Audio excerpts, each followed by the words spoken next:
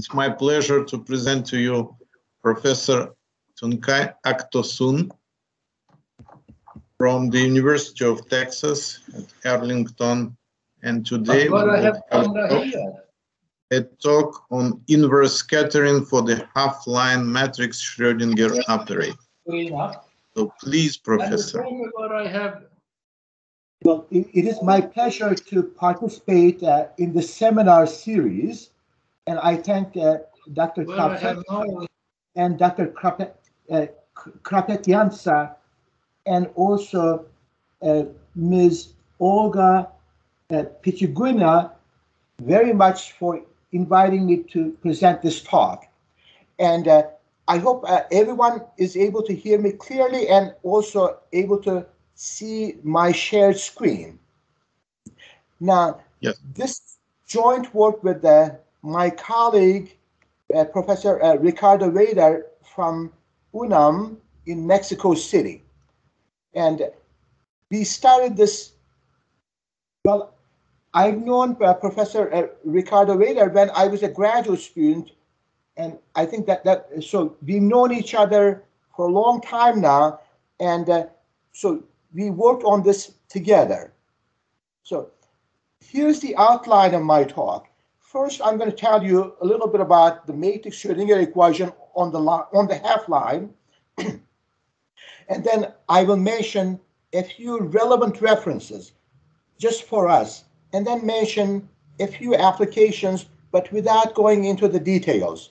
And then I'm going to mention the self-adjoint boundary condition that we use, and and then mention the relevant direct and inverse scattering problems, and then indicate to you the construction in the direct and inverse problems. And finally, I'm going to tell you about the characterization of the scattering data and how we address that. So here's the matrix Schrodinger equation on the half line. Here, the prime denotes the derivative with respect to the spatial coordinate x, we have the potential, which is n by n matrix valued function, and k squared, or k, is the spectral parameter. And, uh, well, the wave function can be either a, an n by n matrix valued wave function, or it can be just uh, one of the columns. And in case we have a square integral uh, wave function, that will indicate that we have a bound state at that k value. So here are the relevant references. Well, the, the references are, uh, are a lot, but these are the references that prompted us. So there's the classical wor work by Agranovich and Marchenko. The English edition came in 1963, and I believe that perhaps the Russian edition was in late 1950s, where Agranovich and Marchenko did the inverse problem for the half-line Schrodinger equation, but by only using the Dirichlet boundary condition. And we were prompted by the thesis by Mark Harmer under the supervision of Professor Boris Pavlov, who died a few years ago. And then, uh, well, we part, uh, Ricardo Weder, my collaborator, participated in the in a conference celebrating the 95th birthday of uh, Professor Marchenko. In fact, uh, now I understand that there's going to be the conference repeated to celebrate Marchenko's 100th birthday in, I believe, in June uh, 2022. And uh, well, we summarized everything in our recent research monograph. So all the results that we have can be found in this monograph that was published by Springer recently. Uh, so here are the applications of uh, uh, well, the inverse scattering and with the self-adjoint boundary conditions. So you can analyze the scattering in quantum mechanics when you have, when the particles have some internal structure. So this requires the analysis for the matrix valued Schrodinger equation. Well, you can analyze quantum wires and quantum circuits. Quantum wires, perhaps as you may know, or you may have heard about this, so they, they are very thin wires where electrons flow along, and uh, so they are uh, at the nanoscale. And there are also a lot of applications in scattering on quantum graphs. Basically, you have the Schrodinger equation or other differential equations where the electrons or the scattering may be taking place on quantum graphs. So you have the edges where the, there is the flow, and then you have the vertices where you have the appropriate boundary conditions. But I'm not going to mention uh, uh, anything else about the applications.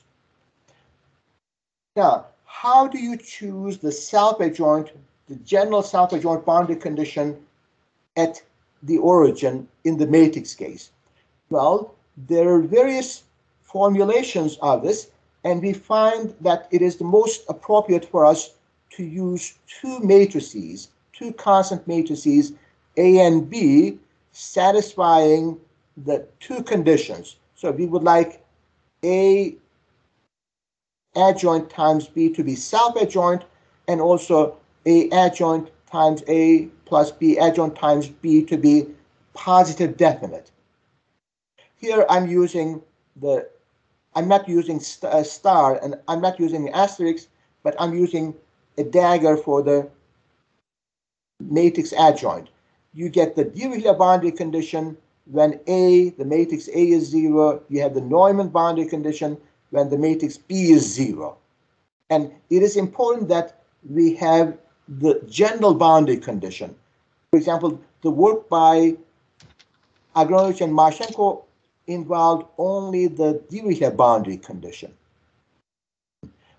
Now, in this formulation, the matrices describing the boundary condition is not unique. So you can just multiply A and B by any invertible matrix T from the right, and you get the, exactly the same boundary condition. So the boundary condition is unique, but uh, the two matrices describing the boundary condition uh, are not unique, but that's fine. This is the analog of the self-adjoint boundary condition in the scalar case. So, well, you can just either use one parameter, or even if you multiply both sides by any non-zero constant, by any, say, real constant, uh, you're going to get the same boundary condition, even though the boundary condition is unique. But uh, the this boundary matrices don't have to be unique. And for the potential the conditions on the potential are rather simple, and I would like the potential to be self-adjoint, and I would like the potential to be integrable, and also having the first moment. Here, this is the matrix operator norm, but you can use any other norm for the matrix, because as you know, all matrix norms in the finite matrix case, so they are uh, just uh, equivalent. Now, when you do the analysis for large k, except for k equals zero, it is enough to have the integrability. You don't need the first moment of the potential.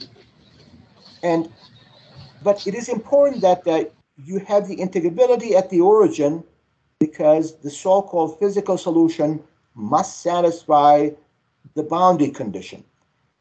Now, the work by Agranovich and Marchenko does not require that the potential is integrable at the origin, but it turns out that so in the Dirichlet case, purely Dirichlet case, the physical solution satisfies the boundary condition at the origin under this condition, but not in the non-Dirichlet boundary case. So that's why uh, our work is complementary to Agranovich Marchenko. And uh, as I mentioned, without uh, the integrability, it is impossible to formulate the inverse problem to do the characterization. And uh, well, it is so what we do is we put we define the so-called input data set by bringing together the potential and the boundary condition. So the boundary condition and the potential make up the input data set. And so we name a particular input data set, we call it the Faddeev class because Faddeev did a lot of work uh, in the area of inverse scattering. So if the potential is self-adjoint and if the potential satisfies the so-called L11 condition, namely the potential is integrable and it has a first moment, we call that, and also in case we have this self-adjoint boundary condition, and uh, if we have uh, the self-adjoint boundary condition, and if we have the potential satisfying these two conditions, then we classify the corresponding input data set consisting of the potential and the boundary condition as the Faddeev class of input data sets. And then uh, we would like to identify the corresponding scattering data sets. Well, the scattering data set will consist of the scattering matrix. So this is an n by n matrix valued function of the real variable k. And then uh, we have a set of positive distinct constants.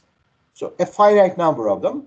And so that finite number will correspond to the so-called number of bound states. And for each bound state, we have the so-called normalization matrix, or we can call it the Marchenko normalization matrix or norming matrix.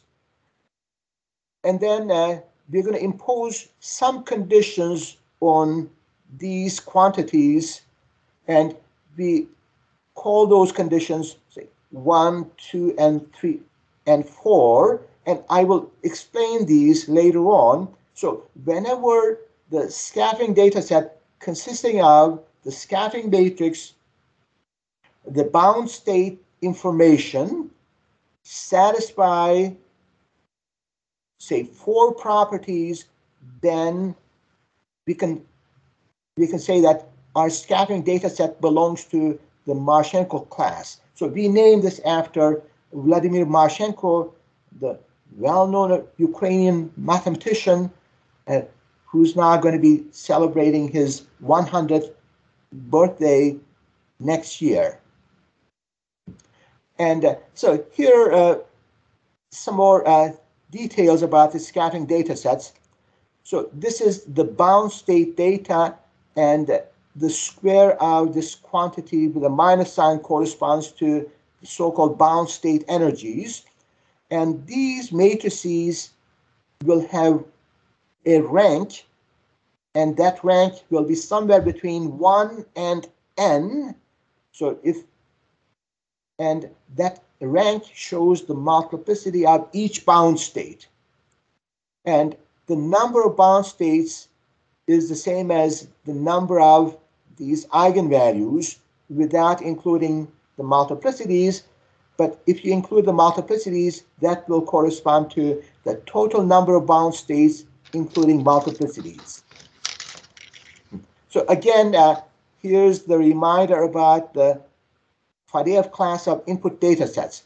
Remember, we have the potential and the boundary condition, and that is that indicates the input data set, and we have the scattering matrix and the bound state information that indicates the scattering data. Now, here's the direct and inverse scattering problems. in the direct problem, we know the potential and we know the boundary condition can we determine then the corresponding scattering data.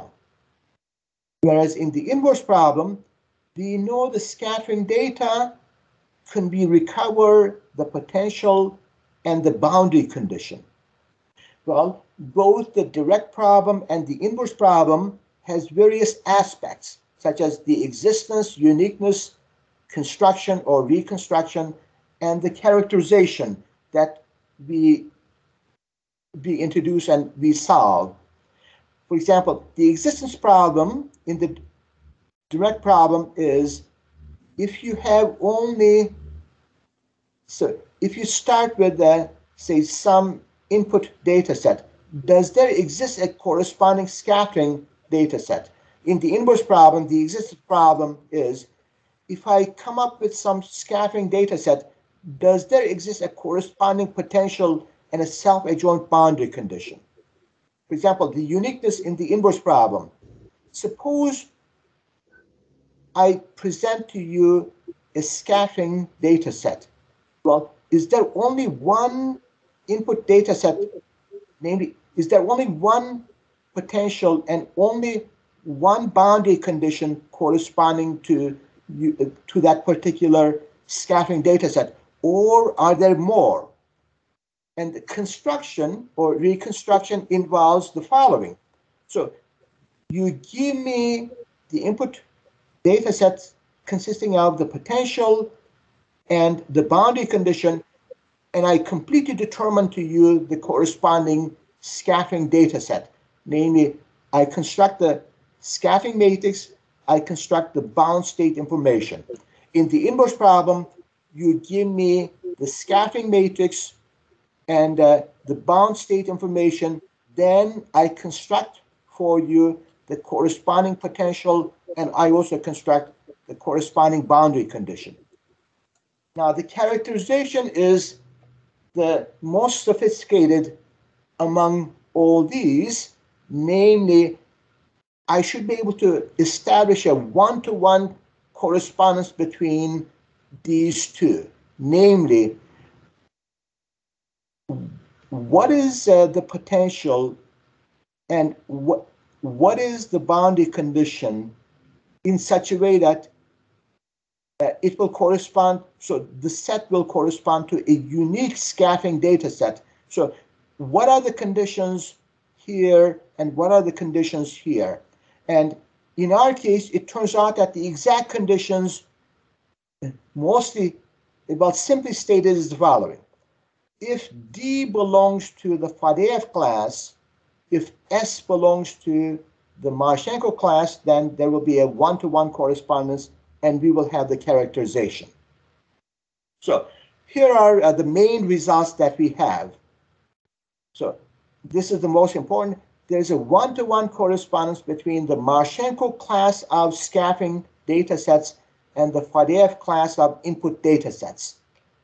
And then we have the construction in the direct problem. So given the Faddeev class of input data sets, namely given the potential and given the given the boundary condition, we construct the corresponding scattering data set that belongs to the Marchenko class. And then we also do the construction in the inverse problem. If you give us the scattering data set, then we obtain the corresponding potential and the boundary condition. And then we also show that uh, if you start with some scattering data set in the Marchenko class, then we correspond, we find, we determine, we construct the corresponding input data set in the Faddeev class, and in turn, we show that that input data set will in turn determine the same scattering data set that we started with. Equivalently stated, the domain of the inverse map is the Marchenko class of scattering dataset, and the domain of the direct map will be the Faddeev class of input datasets, and then we have the domain of the inverse map is the same as the range of the direct map, and it is very simple to identify the Faddeev class of scat, uh, Faddeev class of input data sets, and we have we present various equivalent descriptions of the Marchenko class of scattering data sets. So that in that sense, we present the characterizations, uh, the characterization statements in so many different ways, but equivalent ways. Now, here's uh, one trouble that we encounter with the traditional formulation of the inverse problem. So in the inverse problem, the Dirichlet and non-Dirichlet boundary conditions are never mixed. In fact, that not only they are not mixed, but they they are presented as a part of the scattering data set. Well, this is bizarre because these boundary conditions should be not a part of the scattering data sets, but it should be the input data set. Namely, the boundary condition and the potential should go together. So the boundary condition should not be specified along the scattering data set, but that is the traditional approach. So in our case, the boundary condition is a part of the input data set. So we're going to determine the boundary condition if we know the scattering data set. The problem arises because of the following. Now, the inverse problem for the Schrodinger equation started in hmm. quantum mechanics.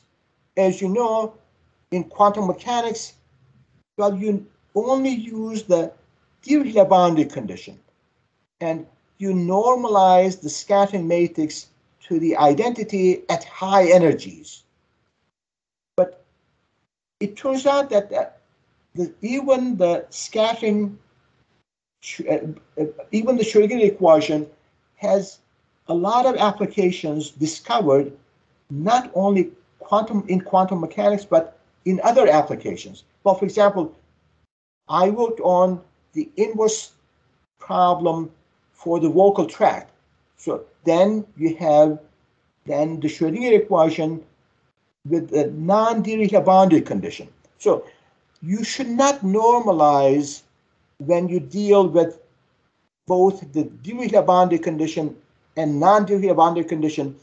You should not normalize the scattering matrix to the identity matrix at high energies. Now, because of the tradition, because of this normalization, it turns out that traditionally uh, the scattering matrix is defined one way with the Dirichlet boundary condition, with another way if you have the non-Dirichlet boundary condition. Well, this is a no-no for us. This creates a problem, and we should define the scattering matrix the same way no matter whether we use the Dirichlet boundary condition or non-Dirichlet boundary condition, or the boundary condition can be a mixture of the two, especially in applications such as quantum graphs, quantum wires. In fact, uh, let me indicate to you why it is impossible to have to formulate the inverse scattering problem in the traditional formulation by normalizing the scattering matrix to the identity at large energies. So choose the scattering matrix as the trivial case. So there's no scattering. The scattering matrix is the identity. Assume the simplest case, no bound states, and use the Dirichlet boundary condition, namely psi of zero equals zero. Then the corresponding potential is the trivial potential, zero potential. Well, then use the same scattering data, but with the Neumann boundary condition. Well, you get exactly the same potential. So as you can see, for the same potential, now you have two different scattering data sets in case you insist on including the boundary condition in your scattering data.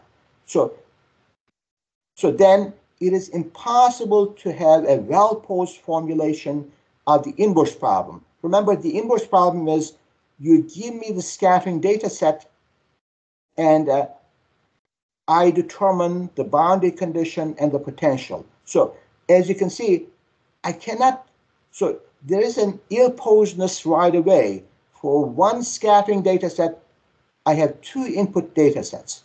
So the inverse problem is ill-posed unless the boundary condition is a part of the scattering data in the traditional formulation. And but to do that, you cannot mix the Dirichlet and non-Dirichlet boundary condition. So you need to specify you that you either use the Dirichlet boundary condition or the Neumann boundary condition. In case you try to do the inverse problem where the boundary condition in the matrix is maybe partly Dirichlet, partly Neumann, you cannot you cannot do the inverse problem. So as a result, uh, this needs to be fixed, but unfortunately it's too late. So the proper formulation should be the following. So the scattering matrix should be this should be defined the same way whether you use the Dirichlet boundary condition or non-Dirichlet boundary condition. So you cannot use two different definitions of the scattering matrix. Second, the boundary condition should not be a part of the scattering data set. It should be a part of, it should be specified along the potential. It should be the, it should belong to the input data set. And the boundary condition should be recovered from the scattering data set. Well, that is the only way to have the inverse problem to be well posed. And if you do that, then you can mix the Dirichlet and non-Dirichlet boundary conditions in one in the same problem. In fact, this is needed because suppose you're doing scattering on quantum graphs. In some vertices, you may have the Dirichlet boundary condition in some, you may have non-Dirichlet boundary condition. But again, as I mentioned, if you only do quantum mechanics, you only deal with the Dirichlet boundary condition. You never deal with the non-Dirichlet boundary condition. If you just do the quantum mechanics only, then it's okay to use the Dirichlet boundary condition. So here's the direct problem and the construction of the scattering data set when you start with the input data set. So remember, the input data set is the potential and the boundary condition specified, and the scattering data set is the scattering matrix and the bound state information specified. And simply stated, you start with the input data set in the so-called Faddeev class, namely the potential will be self-adjoint and it will belong to the so-called L11 class. And A and B are the matrices associated with the self-adjoint boundary condition. And then the this scattering data set will belong to the Marchenko class, namely, there will be four conditions or four equivalent conditions for other equivalent conditions specified. So here's the construction. So first, when in the direct problem, when you're given the potential and the you're given the self-adjoint boundary condition, first you construct the so-called Jost solution. So this is the n by n matrix value solution. And to do that, you only use the potential. So you construct a solution behaving like e to the ikx at infinity. And after you, you have this so-called Jost solution, f of kx, and also you have the boundary matrices, you construct this matrix, which is a function of k, and that is the so-called Jost matrix. And once you have the Jost matrix, you define, you construct your scattering matrix by using the Jost matrix. And then you construct the so-called physical solution. So this is also an n by n matrix. And then, well, you continue. So now next you construct the, the, bound state data. So you've constructed the Jost matrix. So you take the determinant, and uh, it turns out that uh, this has an analytic extension, or I should say, uh, an analytic extension to the upper half complex plane in K. So the zeros of this determinant corresponds, identifies the bound state information. So there are a finite number of them, and you obtain those. And then knowing the Jost matrix and knowing the bound states, you construct the so-called projection matrices. And from the projection matrices, you construct the so-called normalization matrices. So you've constructed essentially everything by starting only with the potential and the self-adjoint boundary condition. So you've constructed everything. And now here's the construction in the inverse problem. So now you give me the scattering matrix and the bound state information. Now I'm going to construct the potential, the corresponding potential, and the corresponding boundary condition. By if I construct these two boundary matrices, then I will certainly have the boundary condition. So given this matrix, you look at the large K asymptotics and you obtain the zeroth order and the first order matrices. And then by using the scattering matrix and by using what you've constructed, namely by, by this, so you take the Fourier transform and you obtain this quantity, and by having the bound state information, you obtain this quantity. And this is called the Marchenko kernel. So then you use this constructed quantity in this integral equation known as the Marchenko integral equation, and you prove that there is a unique solution in the appropriate space, and you get the solution k of xy. And then once you have k of xy, you construct the potential by putting y equals x and then by taking the derivative. Now, now you have all these quantities at hand, and uh, then you obtain the boundary matrices A and B by solving this linear system. So the solution, you show that the solution is unique up to a post-multiplication by an invertible matrix, but that will not affect the boundary condition. So then you have also the boundary condition. Then you construct, for example, the Jost solution from the constructed solution to the Marchenko integral equation. And then you construct the physical solution by the quantities already constructed. And you construct the Jost matrix. And then you can verify that uh, the scattering matrix and the scattering data that you started with in the Marchenko class will give you the input data set in the Faddeev class. So you can show that the constructed potential is Hermitian, and you can show that the constructed potential is integrable and has a finite first moment. And then you can also show that the constructed boundary matrices satisfy this positive definiteness and satisfies they satisfy this uh, symmetry condition. And then you can show that the constructed physical solution will satisfy the boundary condition and then the constructed bound states also satisfy the appropriate boundary condition. Now, uh, well, I clearly identified for you the Faddeev class of input data sets. Now, here's the identification of the Marchenko class of scattering data sets. Namely, I'm going to be imposing conditions on the scattering matrix and on these quantities and on these quantity on these matrices known as the norming matrices or normalization matrices. So Well, we came up with four properties and we use the Arabic letters one, two, three, four.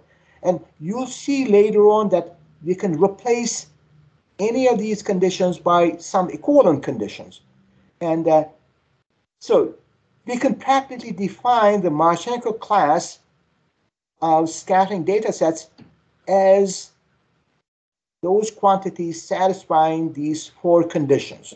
So we would like the scattering matrix to be unitary and satisfy these properties for real k values.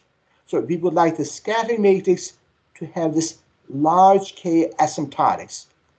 And then, practically speaking, the Fourier transform of the scattering matrix uh, should be should belong to should be integrable when a y is positive and should be bounded when y is both positive and negative. And we would like the derivative of this quantity uh, to be in the L11 class, namely the matrix norm of that derivative should, should be integrable and should have the first moment.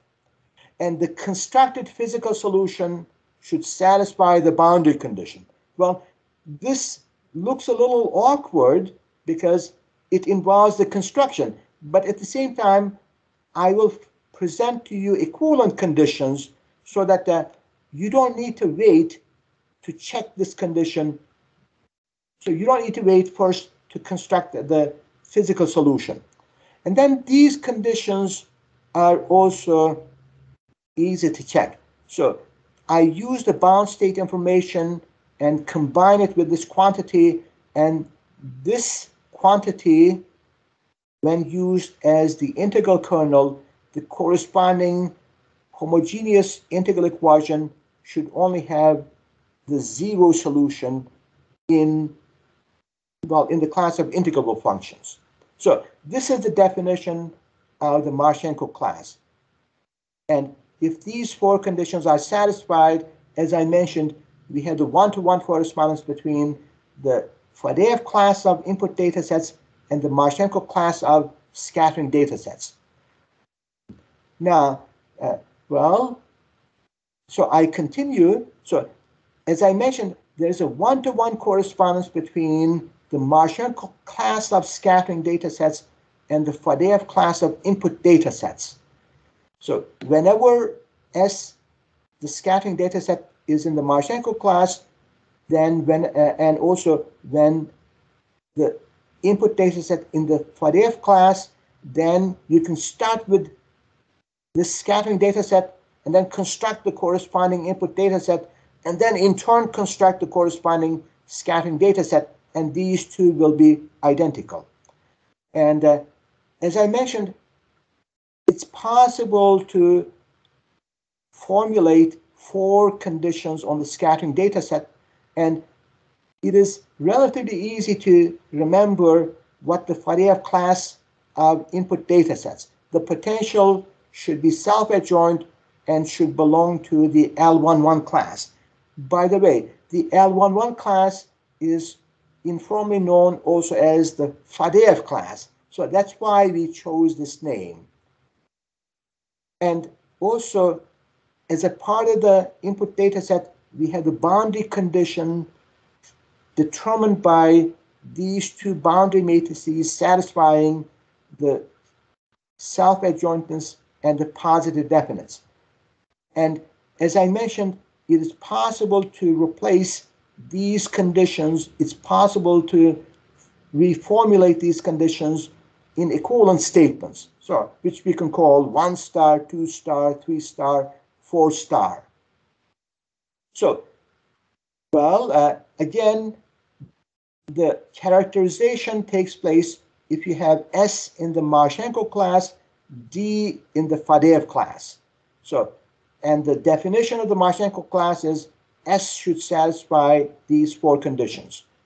Now, we can replace, for example, the condition three by two equivalent statements that we use the Roman uh, numbers. Or, for example, you can replace, say, these two conditions, three and four, by equivalent conditions. Or you can replace, for example, the Arabic condition, Arabic numeral condition one with the two conditions. And then uh, you can have two other equivalent conditions. In fact, uh, it turns out that condition three can be stated at least in two different ways. Condition four can be stated in five different ways. This condition can be stated in three different ways. And uh, this condition can be stated in eight different ways. So there are all these equivalent formulations. And for example, just to give you, so this condition says, oh, the derivative of this quantity that you obtain from this practically corresponds to, to the Fourier transform on the S matrix. So you, as you can see, there is some conditions, or for example, this condition says, oh, there are precisely this many linearly independent solutions to this homogeneous version of the Marchenko integral equation, but when you use the kernel without using the bound state information. So, well, for example, it's possible to formulate the conditions, the characterization conditions, by using the so-called Levinson's theorem. So, well, the condition is the scattering matrix should be continuous, and uh, well, the change in the argument of the determinant in the scattering matrix should be related to the number of bound states. Well, well, you also have such equivalent conditions. As I mentioned, all these conditions can be stated in appropriate equivalent ways. Now, I'm going to finish my talk by presenting to you some examples. And uh, we have more examples in the research monograph that we have. In these examples, we present some scattering data sets where either all the conditions are satisfied or only one condition is violated, but other conditions are satisfied. So here I'm just giving you a few samples.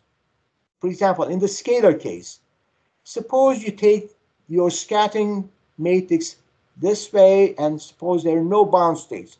Well, it turns out that the scattering data set belongs to the Marchenko class. So you can do the construction and you can construct the corresponding potential and co corresponding boundary condition. In fact, this potential resembles the uh, soliton potential, but uh, here the construction is certainly on the half line. So you cannot have a soliton on the half line, so, but it is a part of the soliton-like potential. And it turns out that the boundary condition here is A is identity zero. So this corresponds to, and B is arbitrary, non-zero constant, namely the Neumann boundary condition. For example, let's take a look at the this scattering data set, and this is not in the Marchenko class. Only one condition is violated, namely the first condition. And uh, so this condition is not satisfied. So the scattering matrix is not unitary here. So as a result, uh, for example, you can also look at other conditions. For example, in Levinson's theorem, you get the number of bound states as a half integer, but that cannot happen. So all these different conditions will help you to check various aspects uh, and tell you whether you have uh, the scattering matrix belonging to the appropriate class or not. So, for example, let's take a look at another example. So here I have this I, because of this, uh, this scattering data set does not belong to the Marchenko class. So only one condition is not satisfied. And well, the effect is here it turns out that uh, if you insist to use this, then you're going to get A and B both should be equal to zero. but then this condition will be violated. And uh, for example, let's take a look at this. So here you get the, you construct, if you insist on using this, this does not belong to the Marchenko class, then you see that at x equals zero, the potential is not integrable. In fact, the potential behaves like 1 over x squared. Not only not integrable, but also the first moment does not exist. So you have a lot of trouble here. And uh, so here's uh, another example. So this does not belong to the Marchenko class. And so only one condition is not satisfied. And if you try to, if you insist on using this as your scattering data, it turns out that uh, the constructed physical solution will not satisfy the boundary condition. Or if you use an equivalent formulation of the characterization related to Levinson's theorem, then the number of bound states in total will be a negative number. But you cannot have a negative number for the number of bound states. So, and here's my last example and last slide. Uh, this scattering data set belongs to the Marchenko class.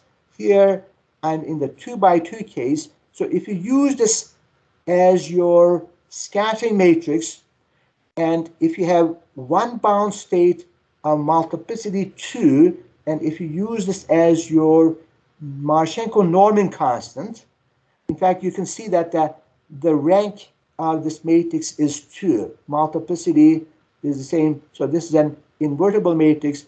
Then everything will go through and you will be able to construct your input data set in the Faddeev class. So here's the constructed potential, and then you're able to construct the corresponding boundary matrices.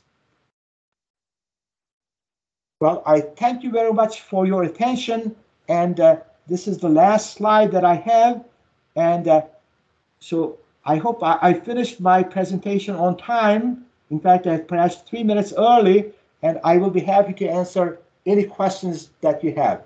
Thank you very much. Thank you Thank very you. much for, for a very interesting talk. Thank you.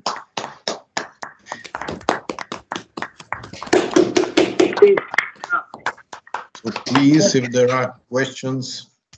And I should also mention that I, I've sent uh, by email the PDF file of my presentation uh, to the organizers, and so either they can make it available to everyone at their web page, or in case anybody is interested in, the, I will be happy to send uh, the presentation slides uh, as a PDF file by email. Perfect. The PDF file of your presentation will be uploaded on the web page site uh, of, of this seminar. So it will be there. Thank you. There is a question by uh, Alexander Smirnov. Please go ahead. Uh, can you uh, tell me if your constructions can be extended to uh, the case when we have a singular endpoint at zero. For example, in, in one of your slides, uh, you showed uh, the example where some uh, scattering matrix corresponds to 1 over r square potential. Uh, can, can, can be some extension of your constructions that include such cases. So, well, in fact, uh, this is the case which was considered by Agranovich and, and Marchenko yeah, in, in their book. Yeah, yes. Uh, so uh, in, in the book by Agranovich Marchenko, they consider that singular case. Well, uh, uh, we cannot do the characterization in this case, namely, uh, we, we cannot tell what the scattering data, what class the scattering data set will belong to so that the, the corresponding potential will have the singularity.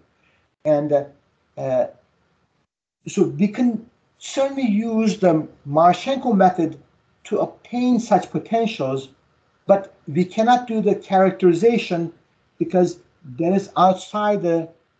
Uh, so, so in that sense, for singular potentials with this type of singularity, I guess Marchenko's work uh, perhaps is the only work. But, but at the same time, uh, uh, I mean, we, we don't have the characterization in that case. But uh, uh, in fact, I believe with my collaborator, uh, Ricardo Weder, we were planning to work on that case sometime in the future. Uh, Ricardo, would you have any comments on this? Ricardo, your microphone. Yes, uh, it's on. Uh, well, the issue is the following. Now, if you happen to know that the singularity is specifically of that form, well, then you can do things, right? Uh, uh, in yes, general, yes. well, if you do non-Dirichlet boundary condition, you could not define the boundary conditions by matrices. You will need to use um, limits of Wronskians, right? Because it's not locally integrable. Yes, of course. I, I, I meant uh, precisely that, that maybe your construction can be extended to boundary conditions specified by, by Wron- Wronskians. Yes, this is certainly possible. And this is uh, something that we have in mind. If you specify boundary conditions by Wronskians, uh, then, then you can consider that type of singularity. But this, uh, this method will have to be changed, right? Now, uh, as in Agranovich and Marchenko, if you happen to know precisely which singularity you have, let's say in the scalar case, uh, if you have, say, um, uh, the standard radial Schrödinger equation, you know is 1 over r squared, then you can solve in terms of uh, special functions uh, and so on, Bessel Mhm. functions. So in that Mhm. case, it is possible. Also for the long range behavior, if you wish to go uh, beyond the short range case, if it is a background type situation where you know the long range behavior, this is part of your data, then you can reconstruct a short range perturbation, say. So there are some possibilities to extend. But I I believe the main issues are already here. So you Mhm. will need to adjust it. For example, uh, local singularities at zero would require Wronskians. Long range behavior would require that you are in a so-called background situation. Uh, and then the related ideas would work, right? With some changes, uh, but we have that in mind. But I, I, as mentioned, I believe the basic issues are already in this case. Yes, so uh, for the general knowledge, Agranovich and Marchenko separate this particular singularity, which is known, and then try to do the inverse scattering for the remaining part of the potential, basically by assuming that this is known and the regular part of the potential is viewed as a perturbation on this part. So I think Thank that is you. the context in which you can generalize. But perhaps in, in particular cases, as they do, right? Uh, There are many applications in nuclear physics of this type of, of problems. And in some cases, they do have singular potentials and so on. But I, I- think this should be done case by case. Because Yes, in the particular type of singularity you have, then the solution, then the problem will be different, right? So as a general theory, I think this is the general theory. Then particular cases, singularities and long range should be treated one by one. Yes, even in the scalar case, I guess if this number is L times L plus one, where L is an integer, the treatment is relatively easy. But in case this is not L times L plus one, where L is an angular momentum number, I guess the treatment is more difficult. Okay, thank you. So Thank please, you. if there are more questions. Uh, I have one more question. Uh, uh, In your, y- your, uh, in, in the general scheme of uh, construction of um, scattering matrix, uh, you use just a functional approach. And the, the standard approach, uh, such as in Reed-Simon, for example, to scattering theory, is uh, to construct uh, Möller matrices and uh, using them scattering matrix, and then scattering matrix is decomposed in direct integral, and we obtain uh, matrices that you denote S of k.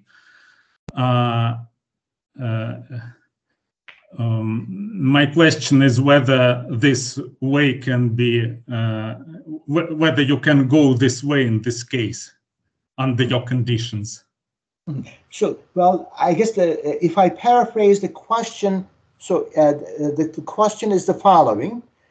We have the, so we're using the scattering data set consisting of the scattering matrix and the bound state information. Well, Mhm. s- certainly it is possible to have equivalent scattering data set, not necessarily in terms of the scattering matrix and the bound state information, but all this information may be contained in some other format.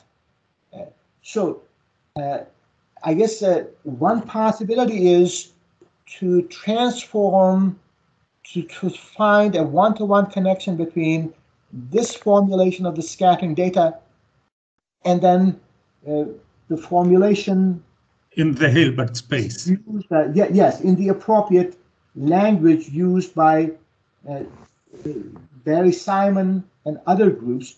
Mhm. Now, uh, well, I, I I assume it is possible to do all this.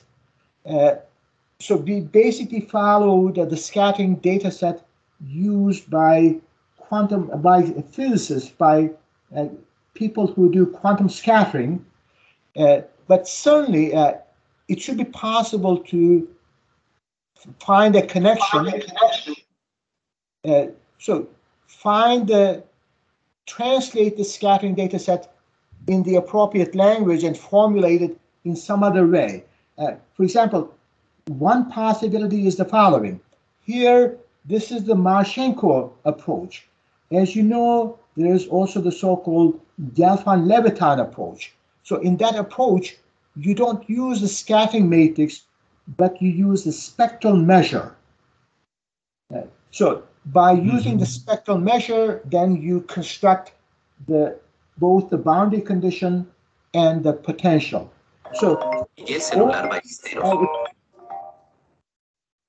Eh, sí, te- Uh, add a comment perhaps. Hello? Yes, yes, please. Yeah, Okay, well, uh, with regard to the, say, the Möller wave operators and the scattering operator and the connection between the, the scattering operator and the scattering matrix defined by direct in- integral and the scattering matrix as defined here in this talk, well, we do that in our monograph. There is a chapter in our monograph where we do the wave operator theory, we define the scatter operator, and we, the, we uh, prove the equivalence with this, with this scattering matrix defined in terms of the Jost matrix. So that, that you will find in our monograph. Mm, thank you. uh, here. So this is our monograph. Perhaps I can ma- make it a little larger. Uh, so, uh, as Ricardo mentioned, we have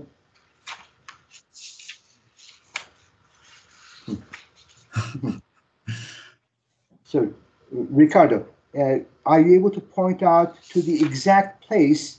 Yes, Uh, well, it is in, in next chapter. Yeah, you see, if you make it bigger, because I don't this- So there, there be the scattering theory uh, defined by the wave operators. Yes. Right. Here. So Uh, focus. Uh, Well, it's not focused, Shay. Oh, now, now you have it's direct scattering two chapter. There you find all that information. Okay. Uh, thank, thank you, thank you. And there are also results in the spectral shift function, in the uh, bounds, in the number bound state, and so uh, s- scattering theory done in Hilbert space you find in that chapter too. The trace formulas uh, as well. Uh, so there you can see spectral shift function, trace formula, then bounds in the number of bound state and so on. So that was considered, yes. Thank you. May I ask a small question regarding your last slide, last example? Uh, If I understand correctly, uh, the matrix A is not uh, recovered uniquely. Ye- yes. Is it, is it, so, uh, so, That is not a problem at all, uh, because if you look at the, even though A and B are not unique, and they are, they can only be defined up to a multiplication, post multiplication by an invertible matrix. But if you look at the boundary condition, so here's the boundary condition, mhm, you can multiply the boundary condition from the left by any invertible matrix without changing the boundary condition. So this is equivalent to using the boundary condition in this case. Here, for example, you can make the boundary condition uniquely determined by a parameter, but at the same time, you can multiply both sides by any non-zero constant, you're going to get the same boundary condition. So it is possible to, instead of using A and B, you can just use an equivalent unitary matrix here to get something unique. But we found that the formulation of the boundary condition, the most appropriate in this form because this gives you the flexibility of the so-called constructing the regular solution satisfying the initial condition equal to A, the derivative of the regular solution equal to B. So this freedom gives us uh, more flexibility without really affecting the boundary condition. So again, even though we have this flexibility in choosing A and B, but the boundary condition is not affected. The boundary condition is unique, even though we have this freedom in okay, the choosing other boundary matrices. okay, Uh, thank let you. me let me add a comment. The fact that the boundary matrices are not unique, uh, uh, it's actually uh, very good from the point of view of the applications, because these matrices contain physical parameters. Uh, and that means that you can you can adjust your problem uh, by changing the boundary matrices to fit the parameters that you have in the in the applications, in the particular problems. Uh, for example, uh, we prove in our monograph that up to some transformation, the most general boundary condition gives you a problem which is unitary equivalent, uh, where you have a number of Dirichlet and a number of non-Dirichlet boundary conditions. For example, uh, if you are in the two by two case, and you have the Kirchhoff's boundary condition. Uh, after this transformation, what you get is one Dirichlet and one Neumann. But one Dirichlet and one Neumann will not fit the physics of the problem, right? Whereas Kirchhoff boundary condition, well, give you the continuity of the solution and the sum of derivative being equal to zero, and this is what you wish in the application. Uh, also, technically, it's very useful to have this flexibility to go to this diagonal form when you have Dirichlet and non-Dirichlet. And so the, we, we view this uh, non-uniqueness uh, as something very helpful, Okay, I see. not really a problem. Right? Okay, thank you. If there are other questions,